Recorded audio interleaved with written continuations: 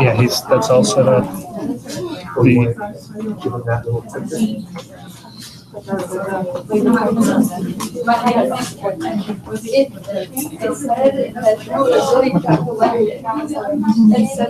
Is there a point on this?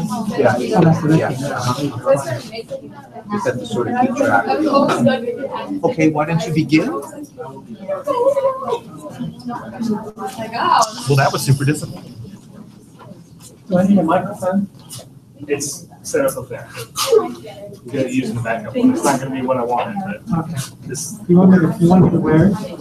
no, no, that's, it's in the laptop. Okay, so you want me to stand here? Okay, You can move around and take It picks it right. okay, very good. You may want to stand for that. Okay. So, Howdy, everyone. Uh, Today, I will introduce the speaker, Dr. Dashwood. Uh, He did his undergrad in the University of Plymouth with biological sciences, the master in the University of Surrey with toxicology, uh, the PhD in the University of Portsmouth with genetic toxicology, and all the places are located in the United Kingdom.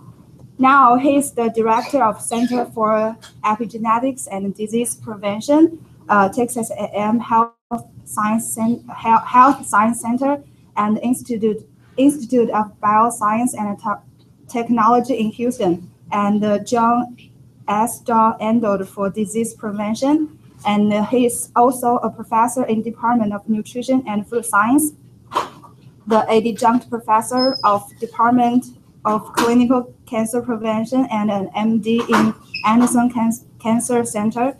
Uh, Dr. Dashwood has been interested in the anti-cancer mechanisms of dietary agents, natural products, and their metabolites for over 25 years.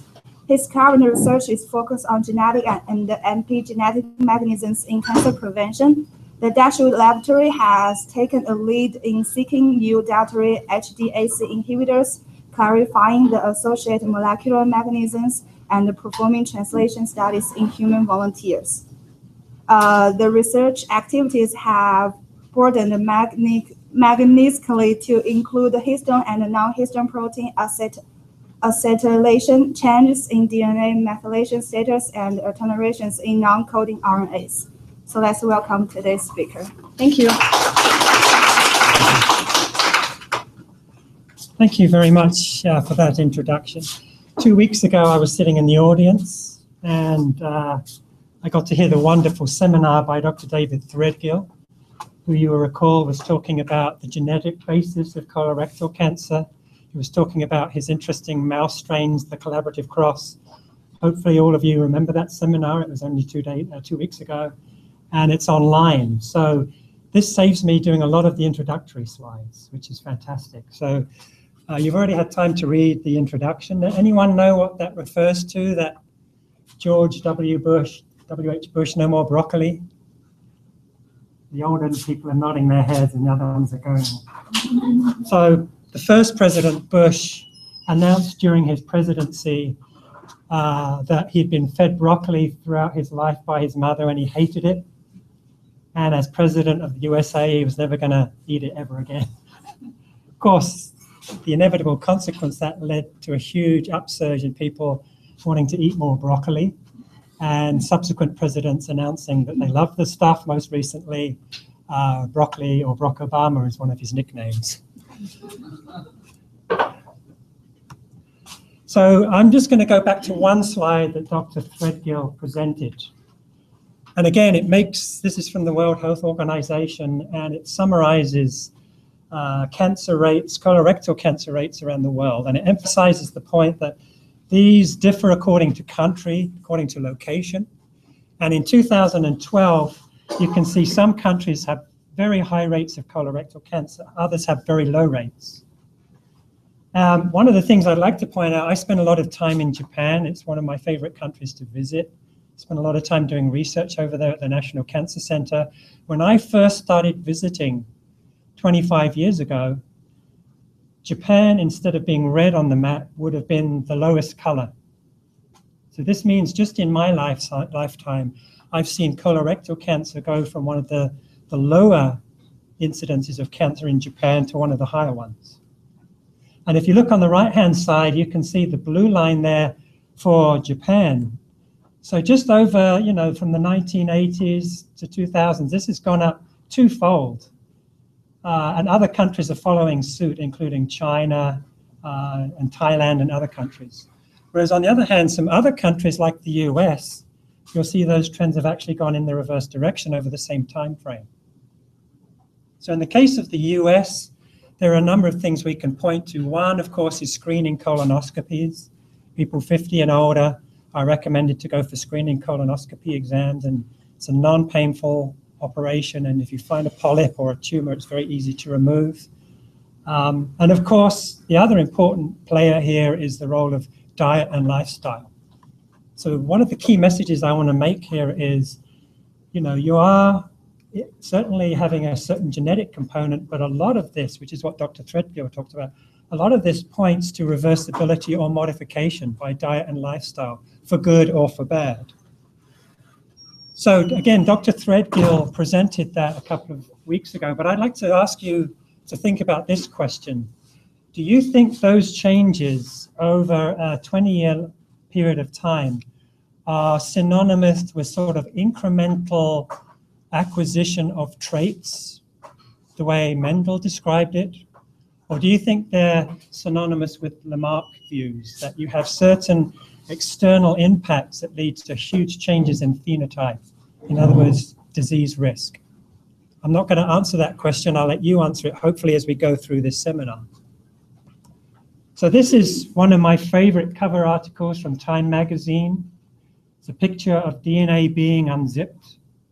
And next to it, it says, the new science of epigenetics reveals how the choices you make can change your genes and those of your kids.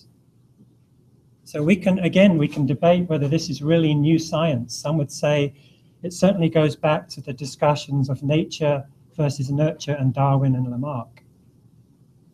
And this is a very interesting magazine, a Time, Time magazine article. I, I encourage you to read this. It's free to download online. And it gives a nice definition. Epi epigenetics refers to heritable changes in gene expression caused by mechanisms other than changes in the DNA sequence. So this is something of a paradigm shift. For, for many years, people have thought about cancer as driven by changes in our DNA sequence, mutations and chromosome rearrangements. And certainly those are important drivers of cancer development. But now we know that layered on top of the DNA, that's what literally what epigenetics means, is on top of the genetics, is a whole other layer that has nothing to do with the DNA sequence. It has to do with how DNA is packaged, how DNA becomes accessible or not accessible, and whether genes in those regions can be expressed or not. So the, the, the main take-home message that I want to have from my lecture today is you are what you eat, and this is because of your modifiable epigenome. The non-modifiable part is, is the DNA sequence. If you've got a tumor developing and it's got a mutation in a driver like an oncogene or a tumor suppressor gene, that's more or less irreversible. But that doesn't mean that you can't do something to act on that cell or act on that tumor to reverse or stop the progression. And so my lab and many other labs have been interested in dietary factors in foods that impact on this reversible epigenome. Things like lipoic acid in spinach, sulfur compounds in garlic and other allium vegetables. Rye bran, of course, is a good source of dietary fiber. And as we heard in our previous seminar, when we eat dietary fiber, it goes through the gut and the bacteria ferment that fiber to produce short chain fatty acids. And those can act to affect your epigenome. And then the one I'm going to focus on for my talk today, again, not President Bush's favorite story, but it's the, the broccoli. And what is it in broccoli that might impact on the epigenome? I'm going to be talking about histone modifications. And these are reversible post-translational modifications, so they can be put on and taken off depending on different circumstances. So how does that work specifically? How exactly might we envisage things in food affecting these various chemical groups on our histones. So just to back up quickly, I'm sure everyone knows this, but if you think about a chromosome and you start to zoom in on this, you start to see the DNA wrapped around the nucleosome. So this is the chromatin structure. It's kind of like the beads on a string analogy. All right, and this is a way of packaging the DNA into our nucleus. As you zoom in on this a little closer, there are various things going on here. So this red dot actually signifies DNA methylation. I'm not going to be talking about DNA methylation today in my seminar. It's certainly one of the key epigenetic regulators of gene expression, and I'd be happy to talk about this at the end if there are any questions. But the other key point is, as I just alluded to, are these histone tails. So these are tails that protrude out from the nucleosome, and these can carry, again, these different chemical groups. They can carry methyl groups, acetyl groups, phosphate groups, ubiquitin groups, biotin groups, and many other groups. And again, these can be put on and taken off according to circumstances. So what exactly is the, the model for how this is affecting gene expression? So this is what we would think of as a sort of an open chromatin situation. The DNA is accessible, genes can be turned on and expressed. So in this situation, in a sort of a simplistic way, we have the active open chromatin, and here you're seeing the, the tails of the histones are acetylated. Now, the reverse scenario is when you have this sort of con condensed chromatin. And this occurs when the histones are deacetylated. This open up groups on the DNA that now interact with the proteins and the histones. So this sort of leads to a very condensed, constricted chromatin situation. And because of this, it's very difficult for transcription factors to gain access to the DNA. And this is the situation one often finds in cancer cells.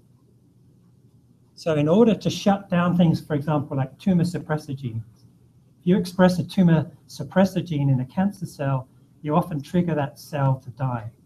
So for a cancer cell to survive and proliferate, to progress and go forward as a tumor, it has to shut down those tumor suppressors.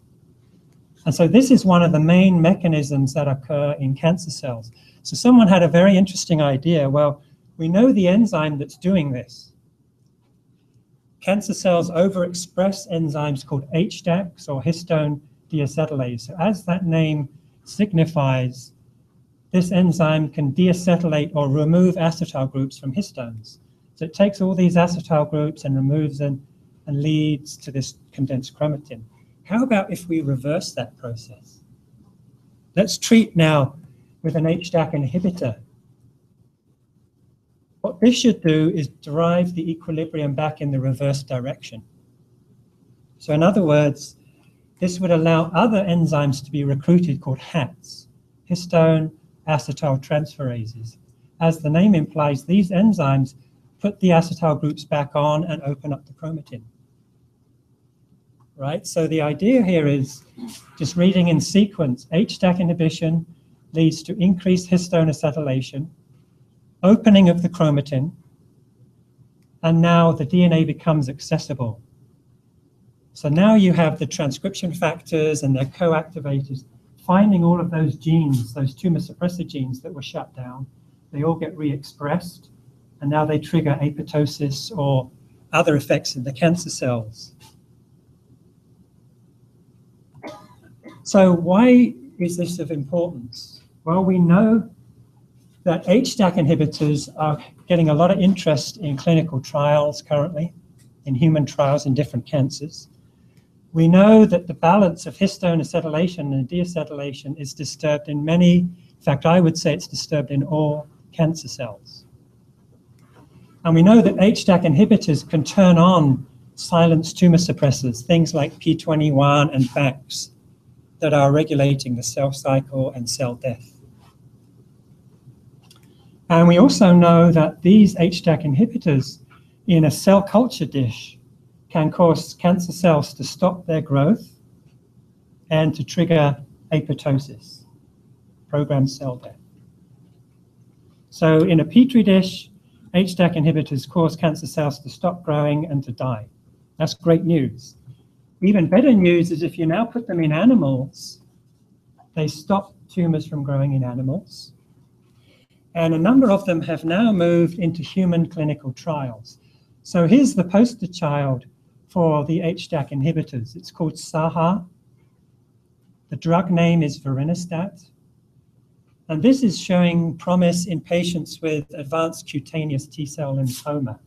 So blood cancers, leukemias and lymphomas. So how does it work?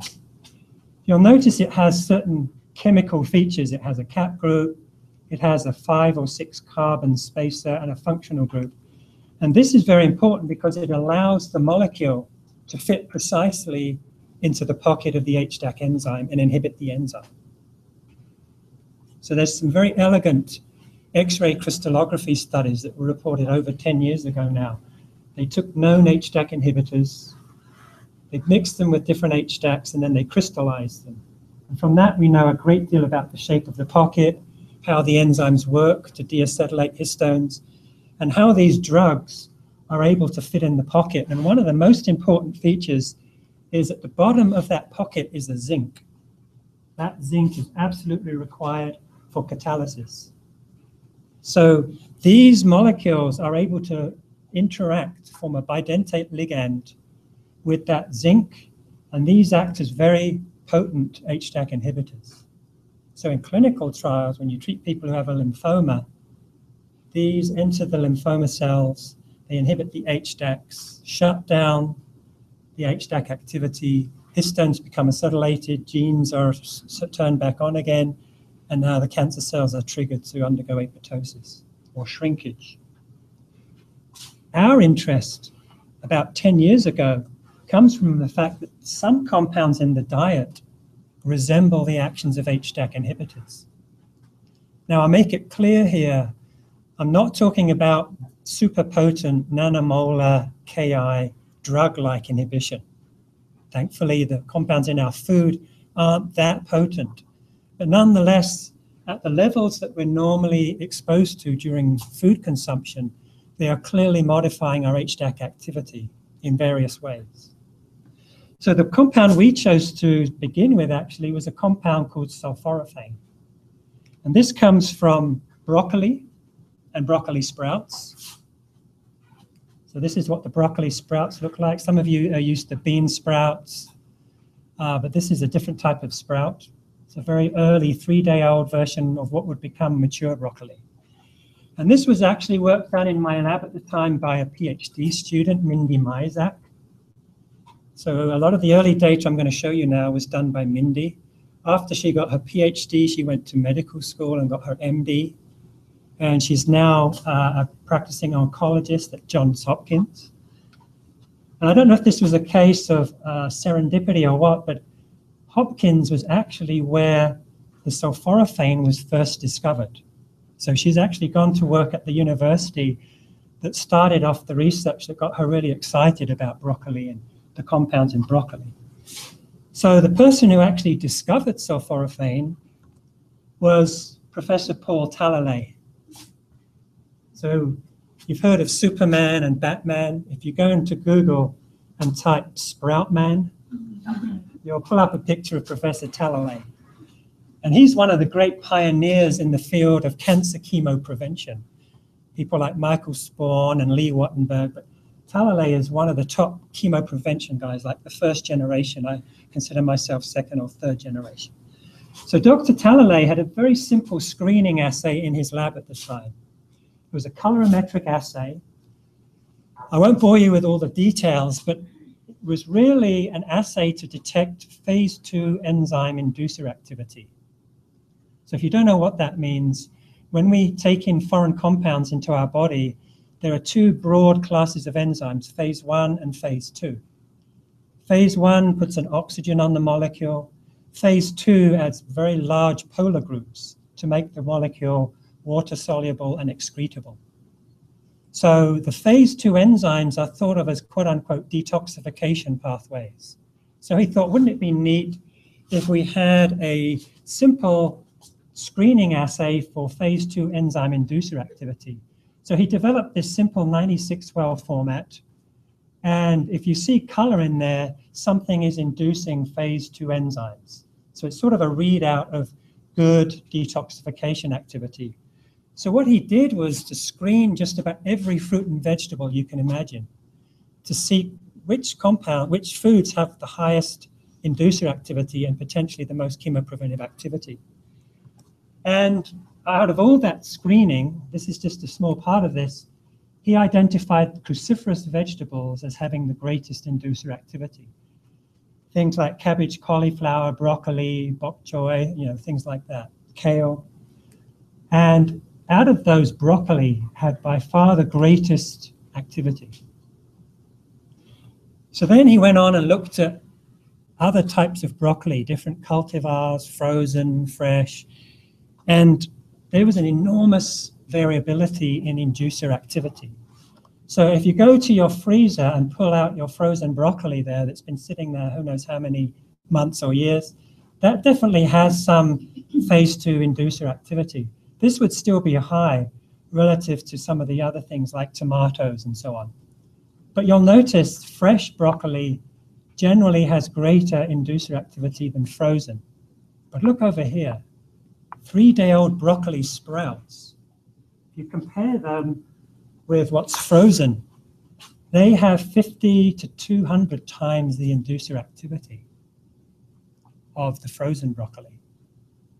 So actually, Johns Hopkins has sort of put uh, patented this particular cultivar of broccoli sprouts. And all around the country, you can, I haven't seen it in many Texas supermarkets, but in places like Oregon on the East Coast, you can get these broccoli sprout in the supermarket.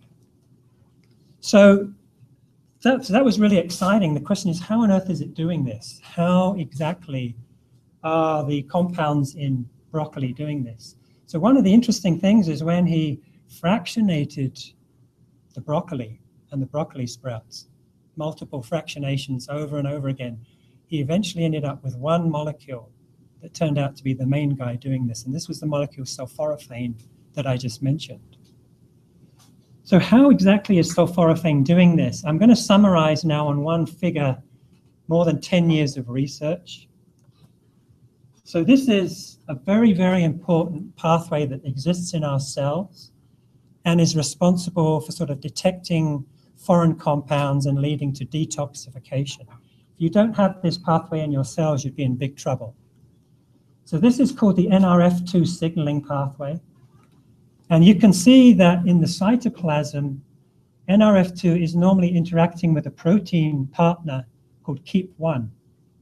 What happens is when sulforaphane enters the cell, it causes these two proteins to separate from one another.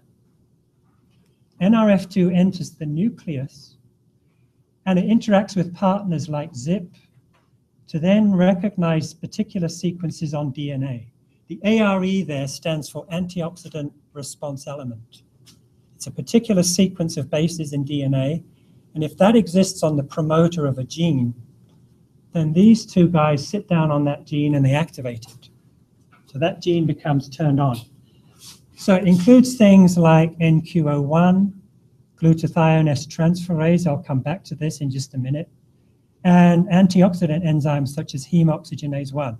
Actually, there are dozens and dozens of these genes that become activated through this pathway. So in general, when we eat broccoli and sulforaphane triggers NRF2 to enter the nucleus, it drives gene expression to detoxify the carcinogen. So this has been the thinking about how sulforaphane is working for more than 10 years.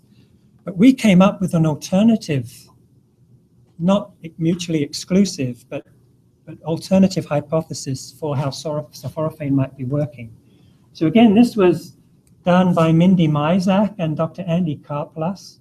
It's a very good biochemist uh, at Oregon State University. And based on our collaborations, we realized that in the food that we eat, in the broccoli, in the cruciferous vegetables, there's a molecule called glucoraphanin. So this is sort of the precursor of sulforaphane. It's the storage form.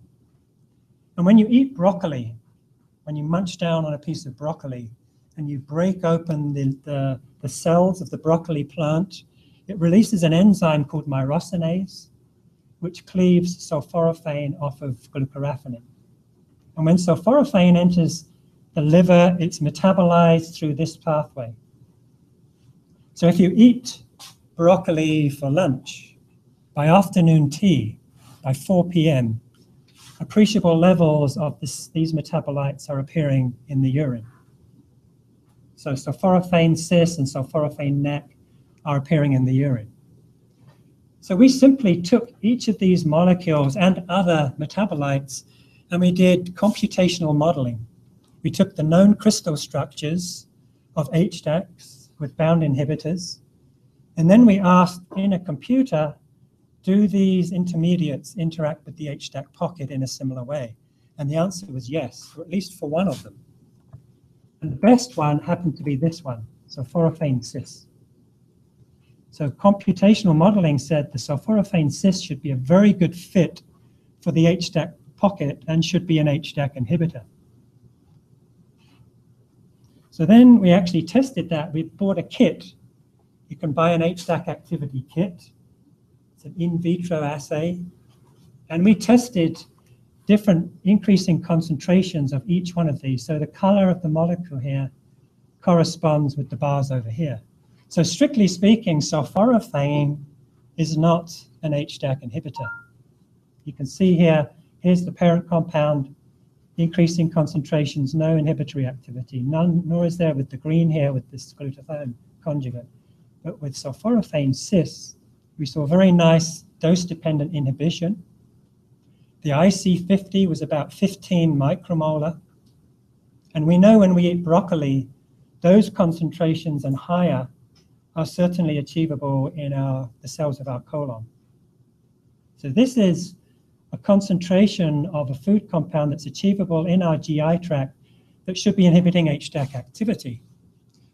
So then we asked, well, if it's doing this in a test tube, is it doing it in animals? That's a far more complicated question.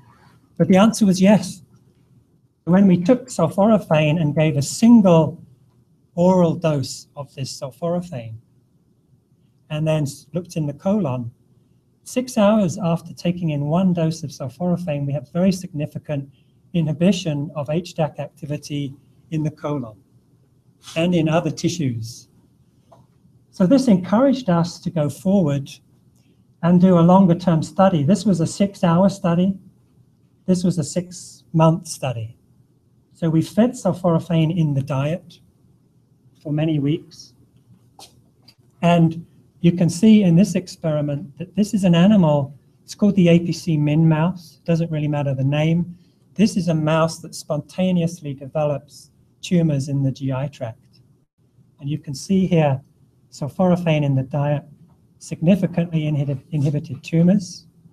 And corresponding with this, we saw inhibition of HDAC activity in the colon and other parts of the GI tract. I'm not showing all the data here. And we saw the genes that have been shut down in the animals, such as BAX and P21, were re-expressed, triggering reductions in tumors. So we've shown now, so we've done a hypothesis, prediction from computational modeling, proof of the mechanism in a, in a test tube, and then showing that it also works in an animal model that spontaneously develops tumors in the GI tract. Okay, so this is our working hypothesis. A number of questions came up along the way, and I'll explain these questions as after I present them. So the first question was, does the parent compound sulforaphane induce NRF2 enzymes that generate the HDAC inhibitor metabolites? So I'll explain that in just a moment, but that was one of the questions that came up. The second question was, are NRF2 induction, as described after Talalay's work, and HDAC inhibition equally important? Does one supersede the other? Do they both, both play a role? And then the third question was, does NRF2 status, does the amount of NRF2 that you have in your cells impact in any way HDAC levels and if so, which HDACs? And this is to tell you that we don't have one HDAC in our cells.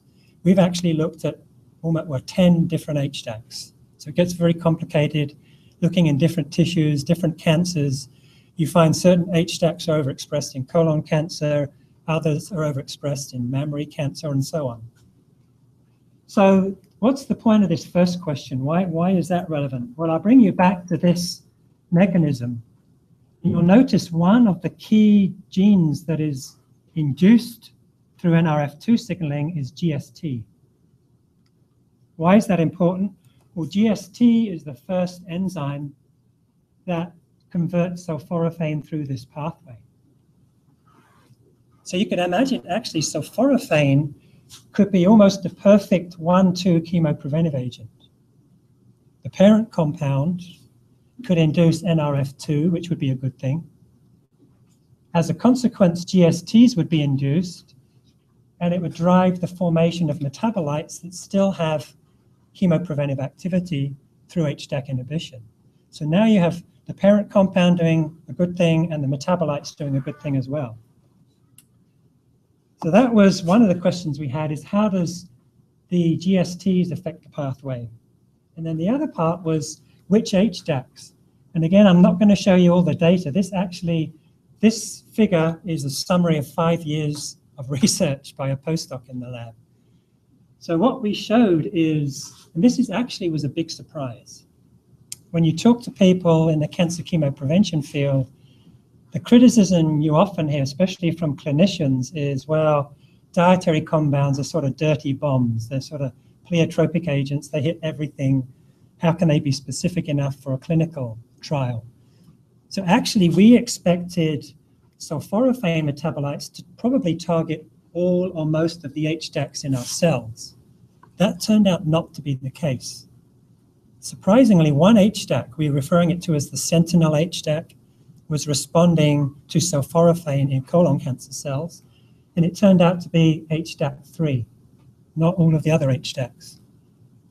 So the point of this slide is just to tell you, I won't bore you with the details, but not all of the HDACs are targeted at all. There's one HDAC and it's HDAC3. And as a consequence of sulforaphane treatment, actually HDAC3 protein is turned over. So one of the key questions we had is, well, again, it's one thing to show this in a petri dish with colon cancer cells. How about in an animal model? So can we see HDAC protein, HDAC3 protein loss in an animal? And how is that impacted, if anything, by NRF2 status? So first of all, we did an experiment in a mouse, a mouse model, we gave a carcinogen, dimethylhydrazine. This is a very well-known agent that triggers colon tumor formation. And then after the carcinogen, we treated mice in the diet either with continuous sulforaphane every day, or we gave it on alternating days, every other day, Monday, Wednesday, Friday, etc. And the question was, do you need to have continuous sulforaphane, or even if you had it every other day, let's say you eat it on Monday and Friday, is it still going to be effective? So the outcome from the study was pretty conclusive. You need to eat it every day. So in this study, this is tumor multiplicity.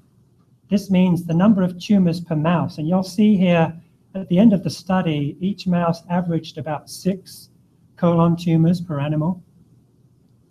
In the animals given daily sulforaphane, there was a significant inhibition of tumor multiplicity, but with alternating sulforaphane, there was no protection. And in fact, when we look further at tumor burden, this is not just numbers of tumors, but also the size of the tumors as part of the calculation. You can see very significant inhibition of tumors by daily sulforaphane, not by alternating. So this sort of fits with the epigenetic idea. We have compounds in broccoli.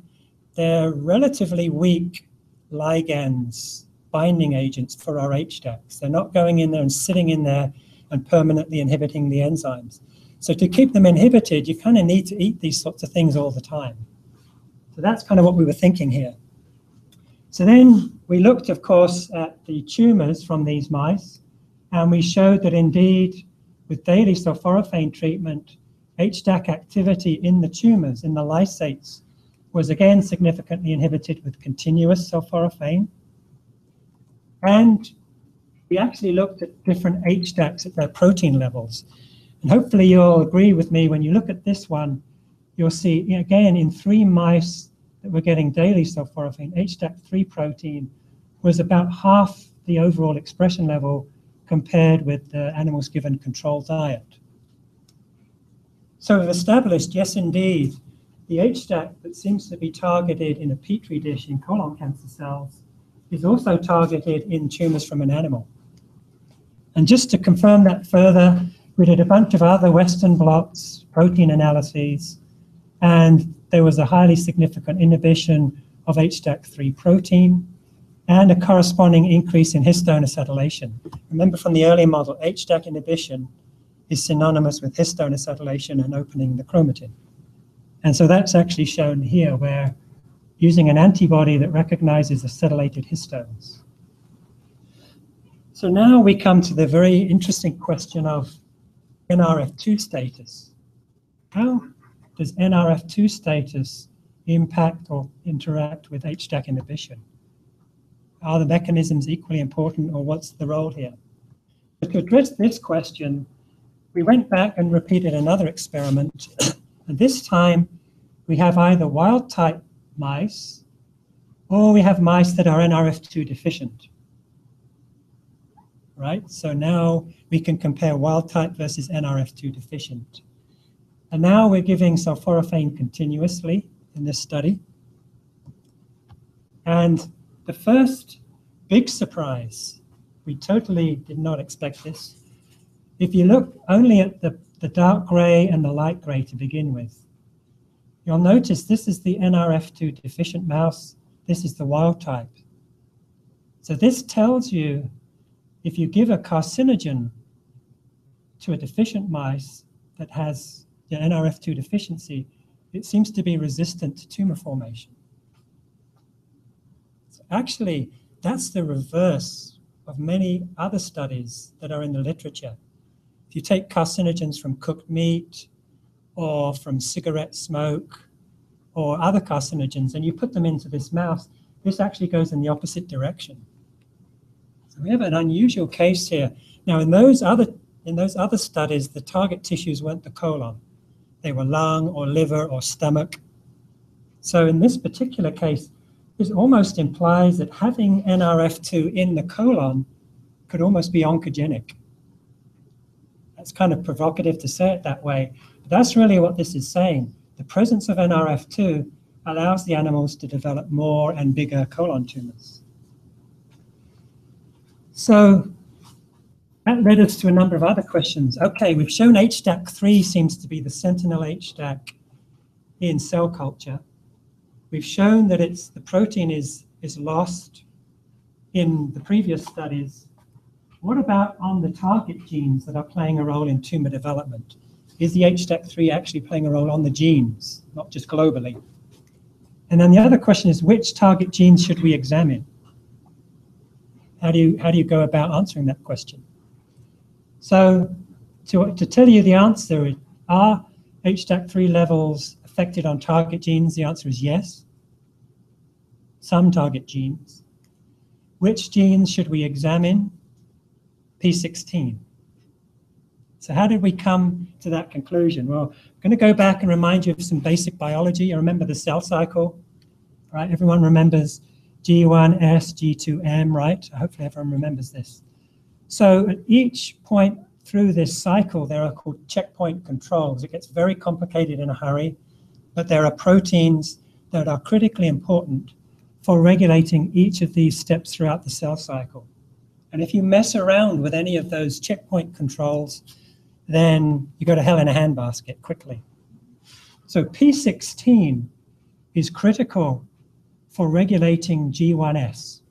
If you have high P16, it basically shuts down the transition from G1 to S. How does it do that? Here in this figure, you see external stimuli, different signals. They are regulating proteins called cyclin D1 and CDK, And the, the upshot of all of this is a transcription factor called E E2F1 gets released, and this drives G1 into S. So if you have P21 expressed, it would prevent this transition. So, ca- so the thinking is if you have P21 in a cancer cell and it's shut down, that cancer cell can progress. So if I turn that around the other way, if you have low levels of P16 in a cancer and you can cause it to be re-expressed through the epigenetic mechanisms I talked about, that would be a good thing because it would, it would mess around with the cell cycle. So that's exactly what we found in our studies. So just to take you through that very quickly, we actually looked using RNA-seq at thousands and thousands of genes. So this table actually will go all the way down to China. It's a very long list of, of genes. But these are the top ones uh, that were really dysregulated when you look at normal versus tumor. And why am I focused? Okay, there's a lot of things going on here. These are all red in the normal. These are all green in the tumor. So I could be talking about this one. Why am I talking about this one? Well, the reason is in all of our comparisons, P16 was at the top of the most dysregulated genes. So here, for example, if you simply look in the NRF2 wild type mouse in the tumor versus adjacent normal colon, and this is the expression of all the genes in the array. Fivefold increased is here, fivefold decreased is here. So these two genes are overexpressed about 20 fold in colon cancers in this mouse model. Then when we look now, here we look in the knockout mouse or in the heterozygous, again, tumors versus normal, again, P16 tenfold higher. So we did a whole bunch of these comparisons and in each one, other genes were up or down and some were slightly up and some slightly down, but in all cases, P16 was like the main guy that was getting our attention. So we validated this data by a technique called qPCR, looking at mRNA expression in the tumors. And again, this is what we found. So this is kind of complicated. Here you have a wild type mouse. There are P16 expression levels readily detectable in the tumor. But when those mice are given sulforaphane, the expression level goes up. So that's kind of what you might expect, right? It's a tumor suppressor. It's a good thing that you can increase the expression levels. But now look over here at the NRF2 deficient. Just changing from wild type to deficiency increases P16 levels in the tumor. That wasn't expected. And moreover, in this background, now when you give sulforaphane, this doesn't go up the way you might hope. It actually goes down. So we repeated this many times with many tumors. And then we said, well, this is messenger RNA. What about the protein? That's the really important thing. Okay, messenger RNA levels can go up and down. Is it changing at the protein level? And the answer was yes. So this is immunohistochemistry, and it's using an antibody to detect P16 in tumors. So you can see here in this close-up, here's normal colon, this is the adjacent tumor.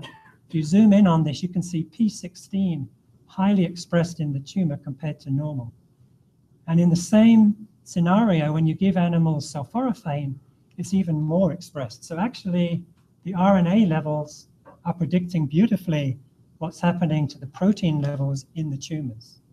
And the same was basically true down here with the, with the heterozygous mice. So for those of you who are CHIP aficionados, and I know there's some of you in the audience, CHIP stands for chromatin immunoprecipitation, and it's a way of interrogating genes and the proteins that are sitting on them in real time. So what we can do here is we can use an antibody to HDAC3, and we can ask in this region of the P16 gene, is HDAC3 bound there or not? And that's indeed what we confirmed. So when we look in the tumors from these mice, if you just look at the gray bars, these are really quite high levels of HDAC3 sitting on this gene. What does that tell us? It says in the tumor from these mice, HDAC3 is sitting on the P16 gene, trying to shut it down, trying to repress the expression of the gene. But as soon as you give the sulforaphane, now that comes off of the gene. So that fits beautifully with what we saw up here. Sulforaphane, loss of HDAC3 would trigger an increase in gene expression. So, okay, I've shown you that HDAC inhibition is important in, in cell culture. I've said sulforaphane triggers HDAC3 protein loss selectively. I've shown you that in mice, that HDAC3 loss is happening in the tumors when animals are given sulforaphane, corresponding with tumor suppression. And I've told you that that's because HDAC3 is a key repressor of the P16 gene. So the real question is, well, if that's happening in mice and in cells in a petri dish, is it happening in humans? So is this reciprocal relationship between P16 and HDAC3 also true in humans? So to answer this question, we took healthy human volunteers, many of them were students, and they took either a placebo or a broccoli sprout extract supplement. So we could have had the volunteers eat broccoli, like a huge, humongous bowl of broccoli. Uh, we could have had them eat broccoli sprouts. So, you know, I've told you that these have 50 to 200 times the level of glucoraphanin compared with this one. So that's very doable. For the kind of doses we're trying to achieve, one cup or half a cup of broccoli sprouts would have done the job. And in fact, we've already reported that that's true. But for this study, we actually went to a supplement that is now in about a dozen clinical trials around the country. So this has taken the broccoli sprout, made an extract, put it in a pill, and now you can give it one day or for a week and compare it with the placebo, which be, be another green pill but doesn't have the sulforaphane in there or the broccoli sprout in there. And what we did in this study, uh, after the very first ingestion of the supplement, we collected blood at various times. And then after seven daily ingestions of the supplement, we collected again blood at different times 24, 48 uh, hours, two weeks. And then we prepared peripheral blood mononuclear cells and plasma.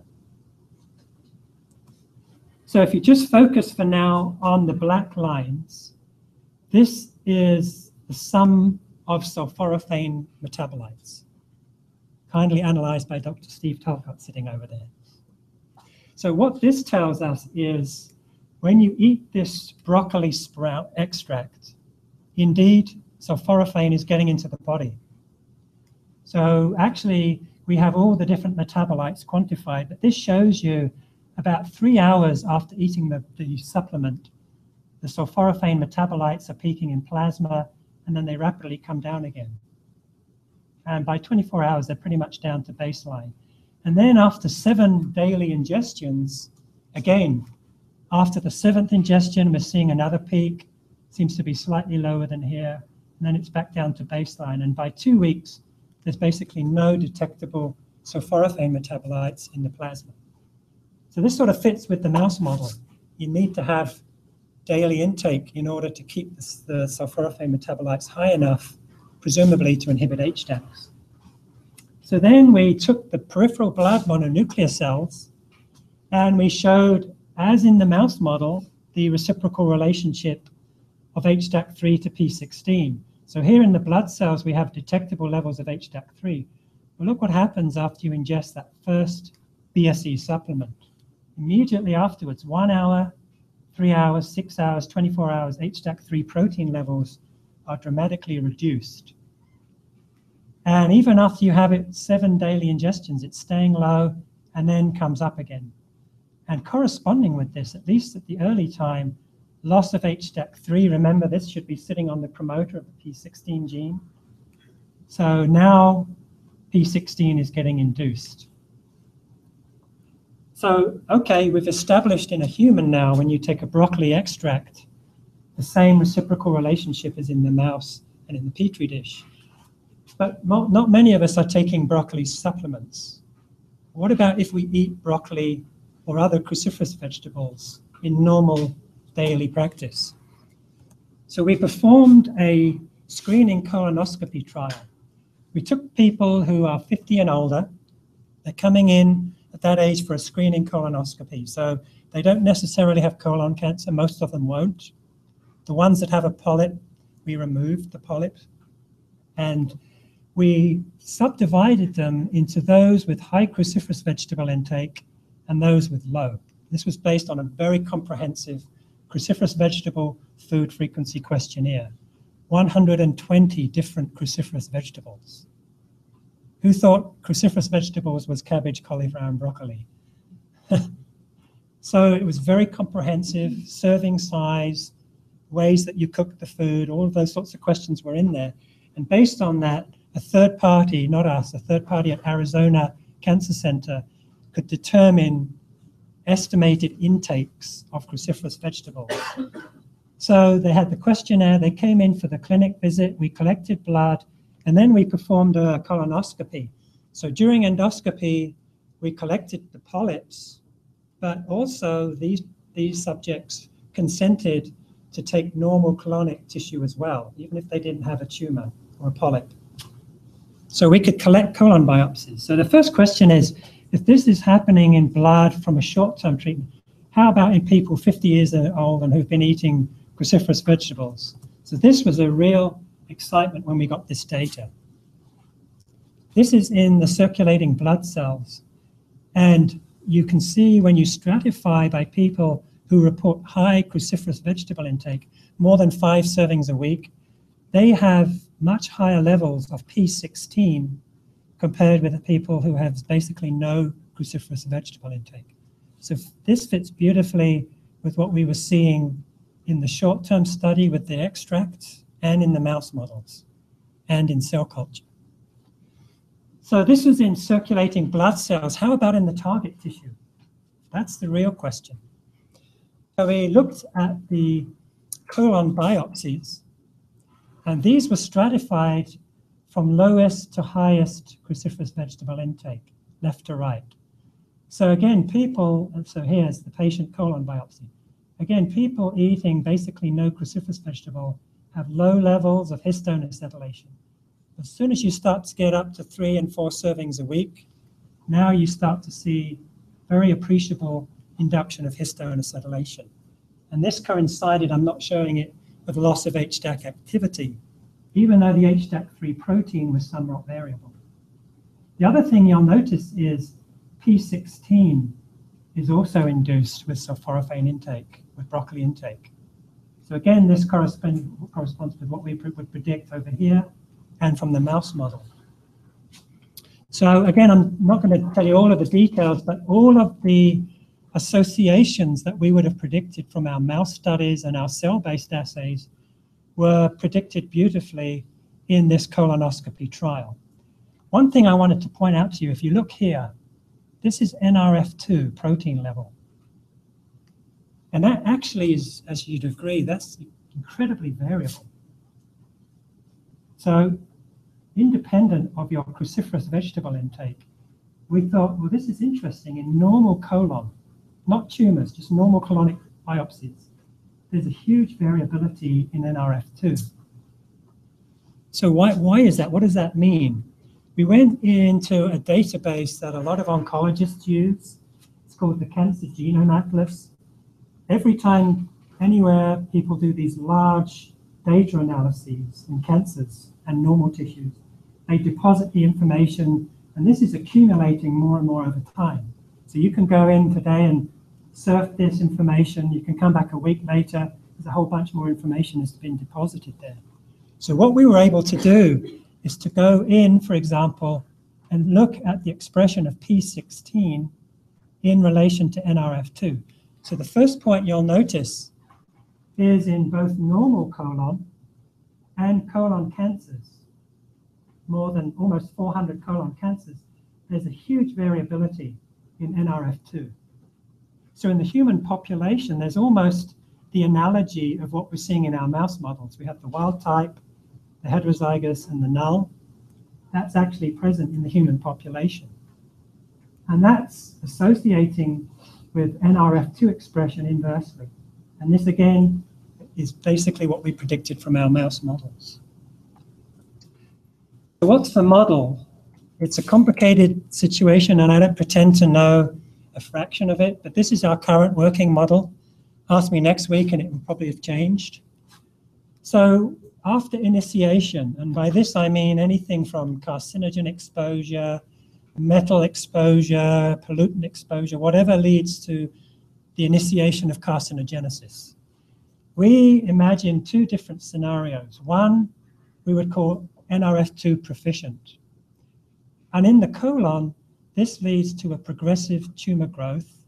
And as the tumors get to be very large, we have HDACs overexpressed, including HDAC3. So HDAC3 is sitting on P16 and repressing it. So we imagine food compounds, and particularly sulforaphane, because that seems to selectively target HDAC3 for inhibition, it now inhibits HDAC3, allows P16 to be expressed. On the other hand, in an NRF2 deficient scenario, and there are humans, as you just saw, that have very low levels of NRF2, in the colon, we start to see tumor develop and they sort of are held at a certain size rather than progressing. And under these circumstances, HDACs are actually low or hardly overexpressed at all. So if you have a molecule that's an HDAC inhibitor, but their target is gone, it's got nothing to target. So that's kind of the scenario we're imagining when you have very low levels of NRF2. So what are the conclusions? First of all, I didn't talk about this in detail, but I, I mentioned uh, the modulators of your epigenome. A lot of those things in rye bran, garlic, broccoli, and other foods through metabolism can generate these HDAC inhibitors. And they can target genes like P21 and BAX in cancer cells, triggering apoptosis or cell growth arrest. In the case of sulforaphane and other dietary isothiocyanates, so any food that you think of that's very pungent, more often than not, you're talking about isothiocyanates. Could be radish, uh, horseradish, wasabi, daikon, those sorts of foods that are super spicy, quote unquote, releasing isothiocyanates. So we think it's not the parent compound, but again, the metabolites, the Cys and the NAC, that can fit the HDAC pocket and inhibit activity. We've shown in the APC min mouse, I showed you one slide on this, in this mouse tumor model, polyps are suppressed, and that corresponds with loss of HDAC activity and induction of acetylation. I didn't show the data. This isn't only occurring in the GI tract, but also in systemic tissues like the prostate and circulating blood cells. I've shown you that NRF2 deficient mice, surprisingly, were more susceptible to tumor induction in the colon than wild type. We certainly didn't predict that. And in this scenario, you see that tumors from wild type mice have much higher levels of HDACs globally, much higher levels, as well as on target genes such as P16.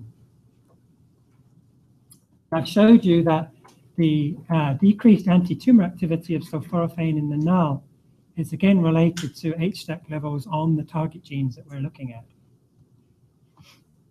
And then I went on to show you in human subjects, either giving a broccoli sprout supplement or just recording people who say they eat lots of cruciferous vegetables. Again, we see the same inverse relationship between P16 and HDAC3. And then I ended with this story about NRF2 being very variable. So based on the model that I just showed you, we think NRF2 status in the colon might have something to say about how effective HDAC inhibitors are in the clinic. So I mentioned to you earlier that vorinostat is in clinical trials for lymphoma. There's quite a lot of variability in those trials. One thing that you find as nutritionists, we find this shocking, but maybe not shocking. A lot of oncologists never ask their patients, what's your diet and lifestyle? Are you eating lots of cruciferous vegetables? So you're already loading up on HDAC inhibitors in the way you live your life. So now when we give you HDAC inhibitor drugs, they can be more efficient because they're working with one another. So those sorts of questions are never asked. And now we're wondering on top of that, maybe the NRF2 status in your colon also dictates whether those HDAC inhibitors are going to work or not. So while we're talking about drugs, I want to re-emphasize the whole food approach. If you don't like Brussels sprouts, maybe you like broccoli or broccoli sprouts. And so people in the Texas Medical Center, my colleagues at MD Anderson Cancer Center and Texas A&M Health Science Center are very excited about this idea. It's the so-called field to clinic paradigm that we're working on now. This is why I came here. The ability to take whole foods and their isolated compounds, move them all the way these sorts of trials into humans and ask, are they working in people? So I'd like to thank the current group, the current gang. Um, the person who did a lot of the work I presented today is Praveen Rajendran and Mohaiza and uh, these other guys too. Thank you.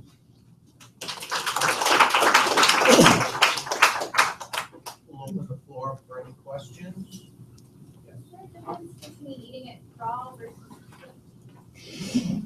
I get that question a lot. So the raw cruciferous vegetables is where you would get the maximum amount of isothiocyanates, not, not necessarily just um, sulforaphane, but all of them. So the, the analogy I give you is, um, I mentioned I've spent a lot of time in Japan, and uh, if you go to the high-class sushi restaurants, when you get wasabi, they don't give you green stuff from a tube. they give you a wasabi root, like a horseradish root, and a little personal grater. I think it's to see if you're drunk enough to stop grating your fist. But what that does is to break open all of the cells of the wasabi root, releasing myrosinase to maximally release sulforaphane. So after 10 minutes, that wasabi is atomic level. Right, I mean, you can smell it just when it's sitting there on the side. So that's the maximum amount that you're going to get. So if you eat broccoli and you munch on it, raw broccoli in a salad or in a dip, and you munch it well, you're going to be releasing large amounts of this in your upper gut and also getting into the lower gut. Now, if you cook broccoli or other cruciferous vegetables, that will tend to inactivate myrosinase. Now, there's a debate as to whether the gut microbiota will generate appreciable levels of sulforaphane from glucoraphanin in the colon. So a lot of the literature up until about two years ago says yes, that indeed happens. And there are animal studies that suggest that. Um, there are scientists from the University of Illinois, Elizabeth Jeffery, who's put a question mark on that in humans. She's looked at different microbiota and different levels of sulforaphane from cooked broccoli, and it's not so clear. I prefer to be optimistic and think you know, eat your food all the ways that you can to maximize all the different ways you can get these exposures in the upper gut and lower gut.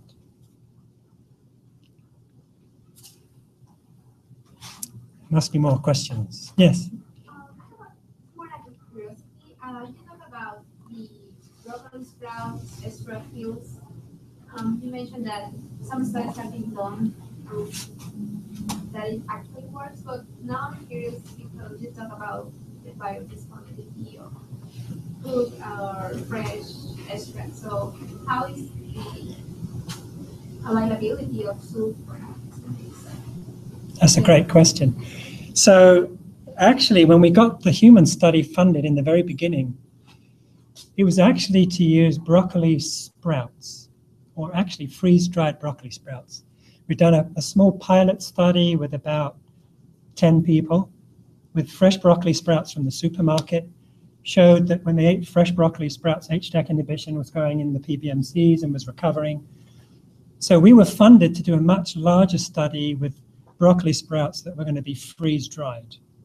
Right around the time the grant was funded, Dr. Talalay met me at a conference in England and said, Rod, we're showing huge variability even with freeze dried broccoli sprouts in terms of sulforaphane metabolites in people.